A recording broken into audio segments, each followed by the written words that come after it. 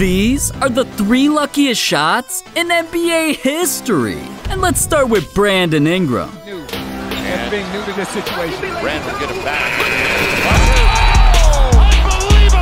Uh, oh my god, at least Ingram's shot came from straight on. At number two, LeBron's shot was damn near impossible.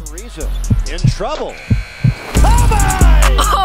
Oh, 360 over the backboard? But at least LeBron had seconds to pull off that shot. Cause at number one, the luckiest shot I ever saw came with less than a second left.